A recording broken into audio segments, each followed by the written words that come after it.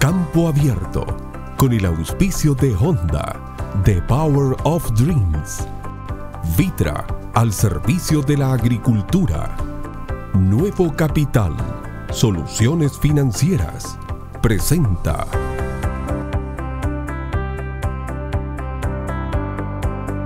Campo Abierto, Noticias. INDAP entrega cuatro tractores y equipamiento agrícola a productores de Contulmo. Universidad Católica de Temuco inició convenio de colaboración con Instituto Interamericano de Cooperación para la Agricultura. Exportaciones de lácteos caen 7,4% esta temporada, agudizando situación comercial. INIA Quilamapu organiza Día de Campo para analizar trigos adaptados a condiciones de cambio climático. ¿Cómo les va? Bienvenidos a esta nueva edición de Campo Abierto Noticias, el informativo Silva Agropecuario de Chile. El Instituto Nacional de Desarrollo Agropecuario entregó cuatro tractores y equipamiento completo de pastería para la conservación de forraje a agricultores de Contulmo en la región del Biobío. La ceremonia de entrega de maquinaria agrícola contó con la participación de la gobernadora de Arauco, María Bélgica Tripailaf, el diputado Iván Norambuena, el alcalde de Contulmo, Mauricio Lebrecht, el Ceremi de Agricultura, Francisco Lagos, el director regional de INDAP, Odín Vallejos, equipos de Prodesal y agricultores pertenecientes a los cuatro grupos productivos del sector. El financiamiento de la maquinaria agrícola se realizó a través del programa de desarrollo de inversiones de INDAP por un monto total de 124 millones de pesos, que consideró un incentivo de INDAP por 80 millones y un aporte de los agricultores por 44 millones. Cada uno de los cuatro equipos de pastería está compuesto por un tractor doble tracción, una segadora de barra, un rastrillo hilerador y una enfardadora. Vamos a revisar las declaraciones de las autoridades y también los beneficiados.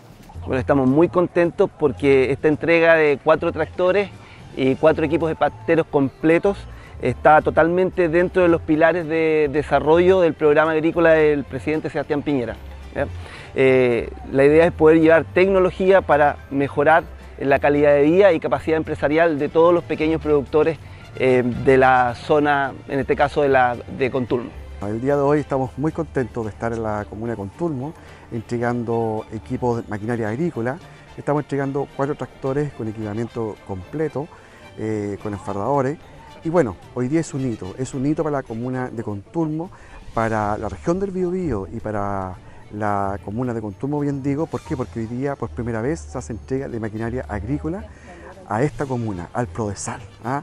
Yo creo que hoy día son 44 agricultores que están siendo beneficiados con más de 124 millones de pesos, donde 80 millones eh, de inversión ha puesto INDAP y 44 millones ha sido por parte de los usuarios. Agradecido por INDAP y por estar en Progresal de que hemos tenido este beneficio y que nunca lo hemos, hemos recibido.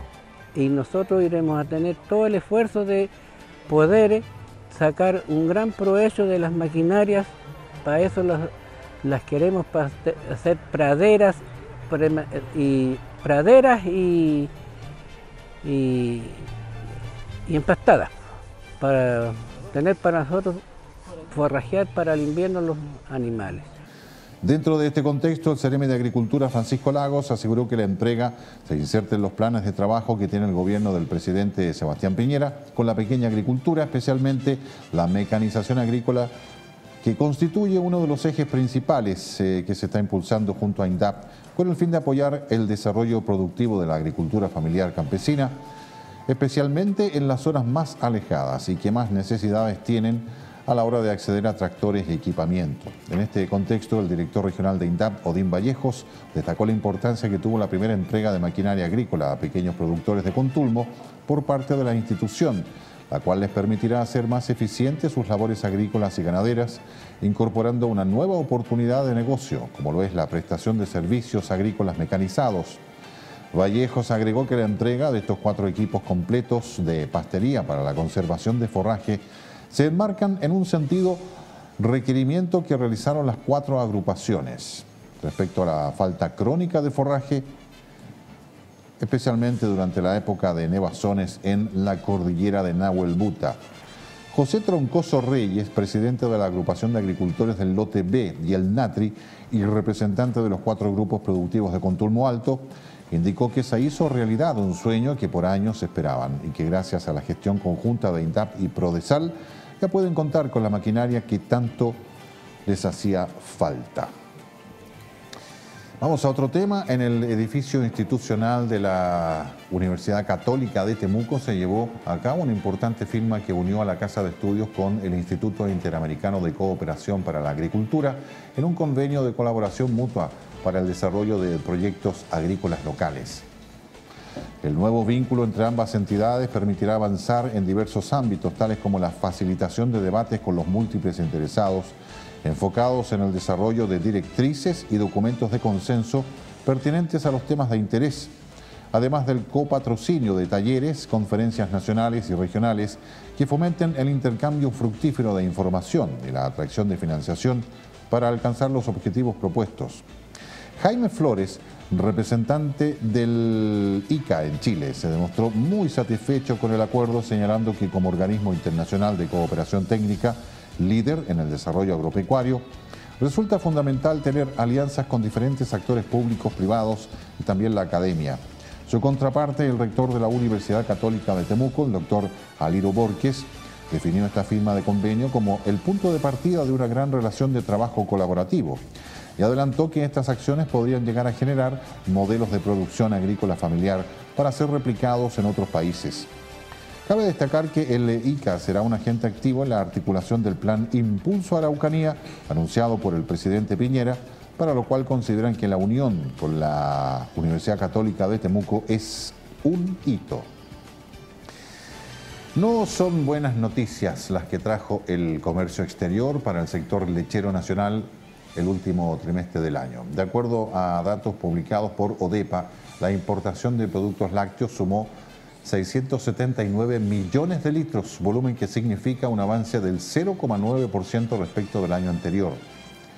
De esta forma, el avance de las importaciones de productos lácteos durante 2018 en el mercado chileno se sigue consolidando, toda vez que dicho volumen representa el 40,2% de la recepción nacional de leche fresca, la que totalizó entre enero y octubre 1.687 millones de litros. En contraposición a este aumento, las exportaciones nacionales de productos lácteos no lograron recuperar el ritmo observado en años anteriores, acumulando a la fecha un volumen de 237,1 millones de litros, lo que implica una caída del 7,4% y se transforma en el valor más bajo de los últimos tres años en términos de envíos físicos.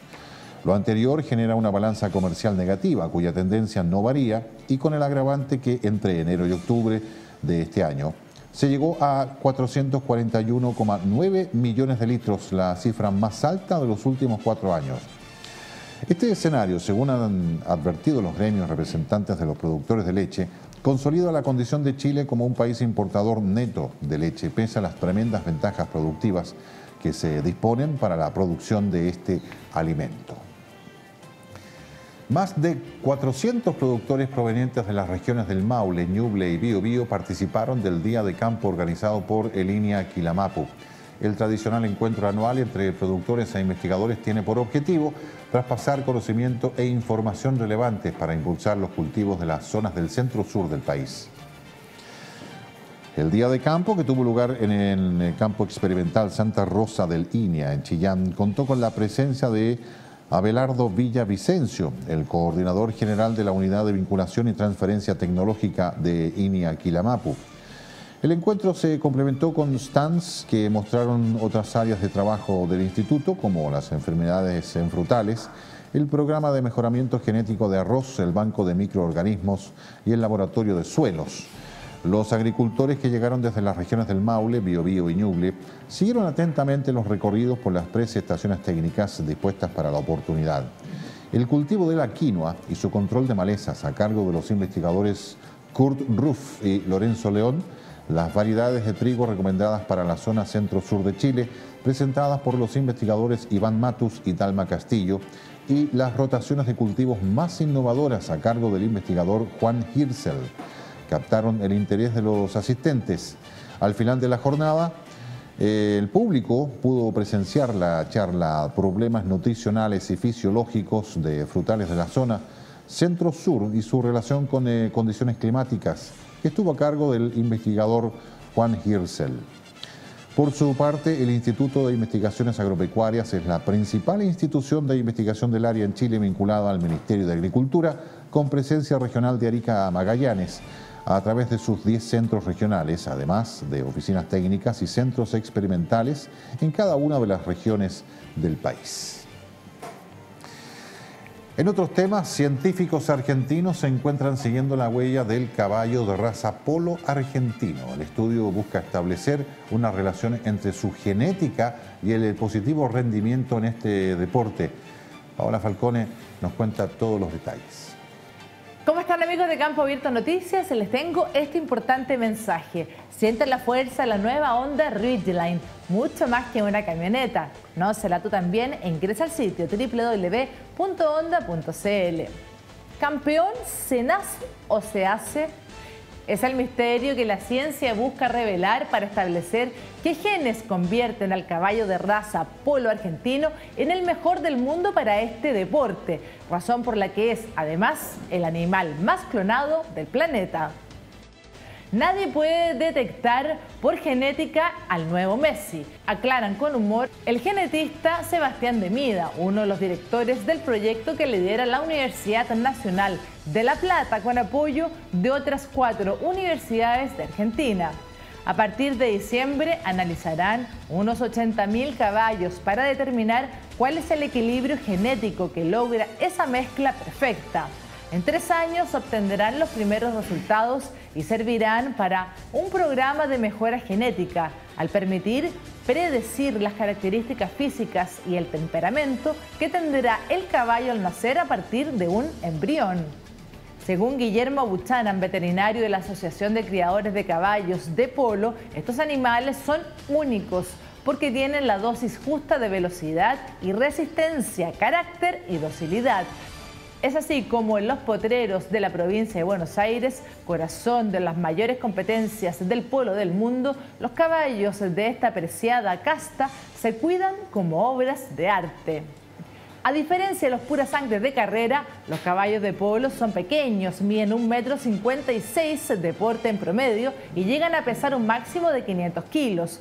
La raza, surgida de un proceso de medio siglo de cruce de linajes, criollos e ingleses, evolucionó en un tipo único que busca en la ciencia un sello de identidad. Nosotros nos vamos a una pequeña pausa comercial, pero ya volvemos con más informaciones en Campo Abierto Noticias.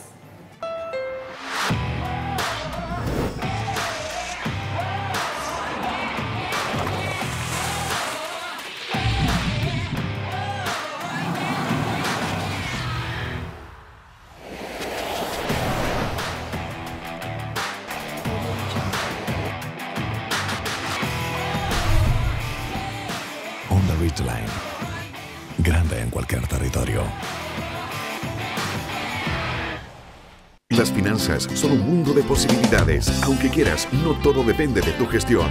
Requiere socios expertos y a la altura de tus necesidades para alcanzar tus metas. Nuevo Capital es un aliado especializado en darte las soluciones financieras que tú y tu negocio merecen. Nuestros servicios de factoring, crédito automotriz y leasing operativo destacan en el mercado por su rapidez y transparencia insuperables. Solidez que actualmente nos permite estar a lo largo de todo el país dispuestos a ayudarte. No lo dudes, asesórate con Nuevo Capital.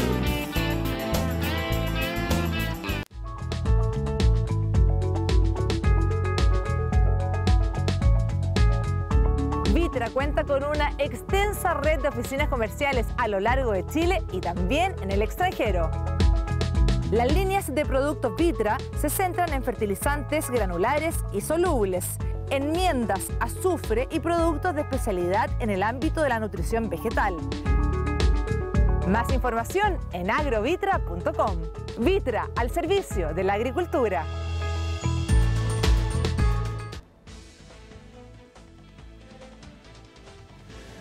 Ya estamos de regreso. La Oficina de Estudios y Políticas Agrarias, en conjunto con INIA, INDAP, FIA, la Asociación Gremial de Productores Unicaben y las empresas Tucapel y Carozzi, organizaron un seminario titulado Innovación y Sustentabilidad para el sector arrocero, desarrollado en Parral. Este evento contó con la presencia de productores de arroz de la zona y fue inaugurado por el director regional de línea, Rodrigo Avilés, quien destacó el trabajo coordinado que se está realizando en el rubro, pues permite estar en sintonía con las demandas de la cadena.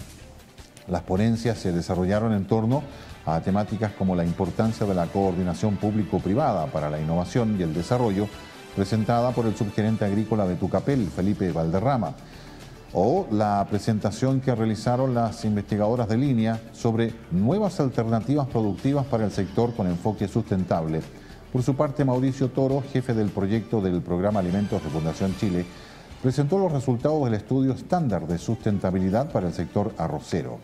Finalmente, Sergio Soto, jefe del Departamento de Análisis de Mercado y Política Sectorial de ODEPA, destacó el trabajo realizado en el marco de la Comisión Nacional de Arroz y agradeció a los productores y a cada una de las instituciones que participaron por su compromiso con el rubro. Actualmente se cultivan en el país alrededor de 25.000 hectáreas y se producen aproximadamente 150.000 toneladas de arroz paddy por año. El consumo per cápita bordea los 10 kilos y con la producción nacional se cubre aproximadamente el 40% de la demanda interna. Vamos al plano internacional. La ciudad de Katowice, en Polonia, hoy día sede de la Convención Mundial para el Cambio Climático. No obstante, esta ciudad se caracteriza por ser productora de carbón. En efecto, solo el 15% de la energía producida en este país procede de energías renovables. La problemática y sus posibles soluciones las vemos en la nota enviada por la agencia Deutsche Welle. La sede de la Conferencia del Clima en Katowice está envuelta en el humo de una central eléctrica de carbón. Aquí el carbón que tanto contamina lleva extrayéndose desde el siglo XVIII. Esta industria emplea a unas 100.000 personas en la región. El carbón es un tesoro. Sin carbón no habría trabajo. Sin las minas, todas las tiendas y negocios de la región tendrían que cerrar. Hasta 2050, Polonia seguirá generando la mayor parte de su electricidad con carbón. No parece que las minas de Katowice vayan a cerrar pronto. El carbón es lo que sostiene la Alta Silesia. Es el producto principal de la región y por supuesto, mucha gente no tiene una opinión objetiva al respecto. Pero sabemos en qué dirección sopla el viento en todo el mundo y qué camino deberíamos tomar. Solo el 15% de la electricidad producida en Polonia procede de energías renovables. Los activistas critican que el gobierno ha descuidado el sector de las energías alternativas.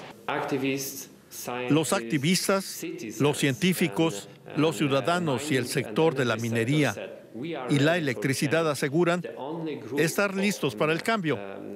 Los únicos que no lo están son los políticos.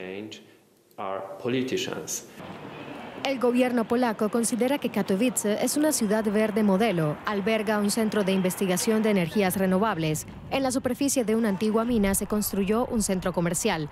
También el centro de congresos, en donde tiene lugar la conferencia del clima, se encuentra en el emplazamiento de una antigua mina. Katowice y el carbón siguen estrechamente unidos y seguirán estándolo por algún tiempo.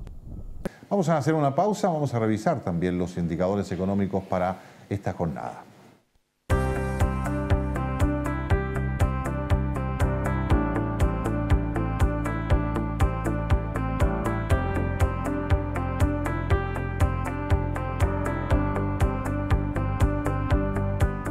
Las finanzas son un mundo de posibilidades. Aunque quieras, no todo depende de tu gestión. Requiere socios expertos y a la altura de tus necesidades para alcanzar tus metas. Nuevo Capital es un aliado especializado en darte las soluciones financieras que tú y tu negocio merecen. Nuestros servicios de factoring, crédito automotriz y leasing operativo destacan en el mercado por su rapidez y transparencia insuperables. Solidez que actualmente nos permite estar a lo largo de todo el país dispuestos a ayudarte. No lo dudes, asesórate con Nuevo Capital.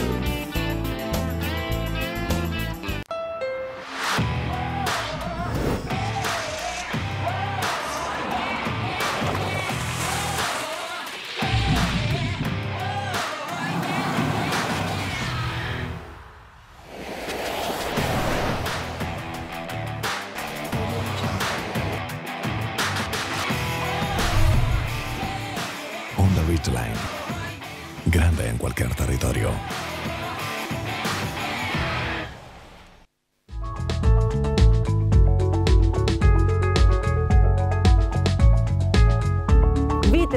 Con una extensa red de oficinas comerciales a lo largo de Chile y también en el extranjero. Las líneas de productos Vitra se centran en fertilizantes granulares y solubles, enmiendas, azufre y productos de especialidad en el ámbito de la nutrición vegetal. Más información en agrovitra.com. Vitra al servicio de la agricultura. Epson, la marca de mayor confianza en impresión, ha cambiado la manera en que el mundo imprime, convirtiéndose en el número uno en impresión sin cartuchos. Una amplia familia de impresoras de tanque de tinta. 15 millones nos prefieren. Epson EcoTank. Epson, Exceed Your Vision.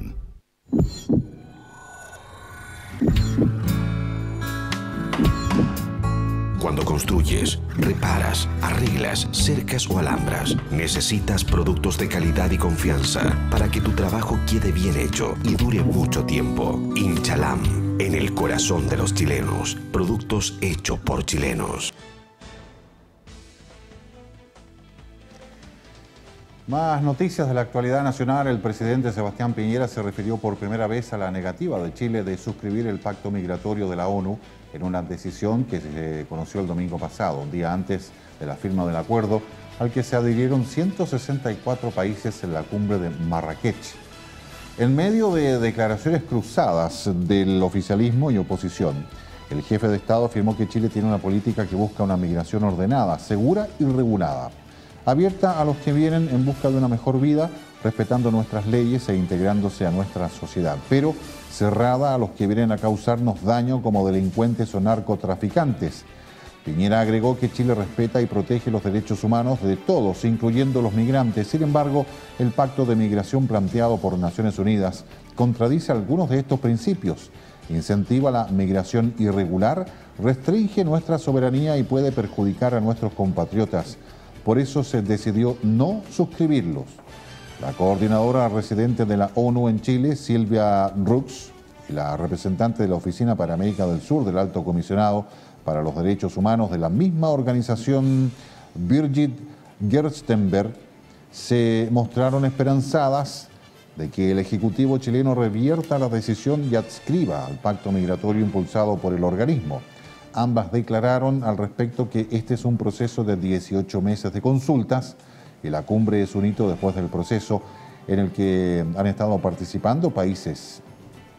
Además, eh, Rux y Gerstenberg fueron enfáticas en declarar que no hubo ninguna notificación, información o comunicación de parte del Estado chileno de que no fueran a hacerlo. Por su parte, el canciller Roberto Ampuero salió a defender la postura oficialista. El titular de Relaciones Exteriores afirmó que cada país tiene derecho a fijar sus propias reglas. El presidente francés Emmanuel Macron salió este lunes de la parálisis y respondió con claridad a las demandas de los chalecos amarillos, un movimiento que expresa el malestar de las clases medias empobrecidas. Entre otras medidas para reforzar el poder adquisitivo, Macron anunció una subida del salario mínimo de 100 euros y entonó una mea culpa por su actitud percibida como hiriente hacia los más desfavorecidos. La inesperada subida del salario mínimo en 100 euros mensuales a partir de enero es lo más significativo. Hoy la remuneración mínima en Francia es de 1.184 euros netos. Otra medida anunciada en cadena nacional por el mandatario francés fue que a partir del próximo año las horas extra estarán exentas de impuestos y contribuciones sociales, lo que pondrá más dinero en el bolsillo de los asalariados. También el gobierno pedirá a los empresarios que ingresen a los trabajadores una prima de fin de año libre de impuestos. Y el impuesto para financiar la protección social se verá reducido para los jubilados que cobran menos de 2.000 euros al mes. Cabe destacar que todas las medidas presentadas supondrán una pérdida de ingresos y un aumento del gasto para el Estado y pondrán en riesgo los compromisos europeos de déficit. A estas medidas se suman aquellas planteadas por el Elicio la semana pasada, declarando que anularán el impuesto a combustibles a partir del próximo año. En este sentido, Macron decretó el estado de excepción económica y social. Los chalecos amarillos comenzaron a movilizarse en noviembre inicialmente, se oponían al encarecimiento del carburante. No obstante, la protesta se amplió a la reivindicación de un aumento del marmado poder adquisitivo acompañado de manifestaciones que degeneraban en disturbios y violencia desmedida. Se espera que con los anuncios de Macron la escalada de protestas se detenga. Hasta acá llegamos con las informaciones a través de Campo Abierto Noticias. Gracias por estar con nosotros. Los esperamos de lunes a viernes, cinco horarios para usted, comenzando a las 7 de la mañana. Si Dios quiere, nos vemos en nuestra próxima edición.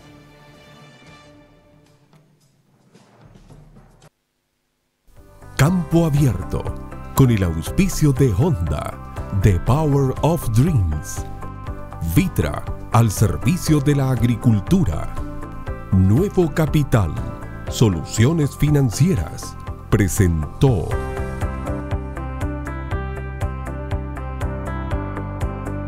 Campo Abierto, Noticias.